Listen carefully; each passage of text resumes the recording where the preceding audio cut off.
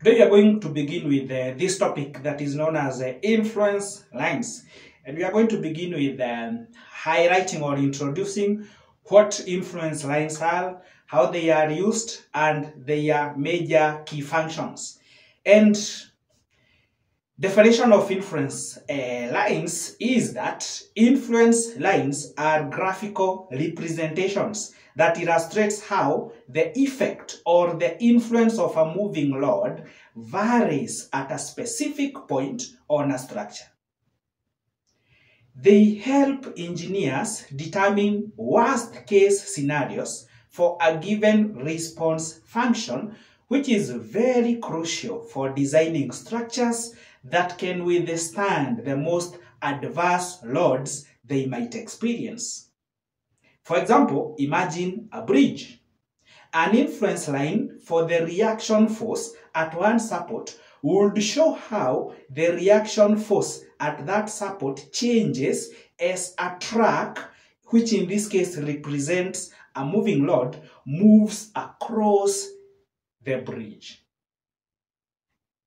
Their key functions are influence lines are used to analyze structures subjected to moving loads, such as bridges, crane rails, conveyors, and other structures, even uh, what we call the flyovers, where these loads move across their spans.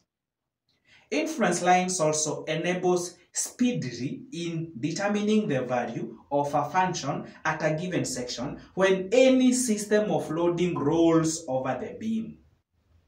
It also enables us in determining the position of the load system which will cause the maximum values of the function at that section. In this case, we shall be discussing the influence lines for the following cases of rolling loads.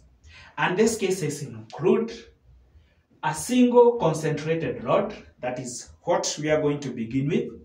Then from there we are going to uh, discuss the influence lines for a uniformly distributed load longer than the span. We are, or we are also going to discuss the influence lines of a uniformly distributed load that is shorter than the span. Number four, two concentrated or point loads. And number five, general concentrated or point loads.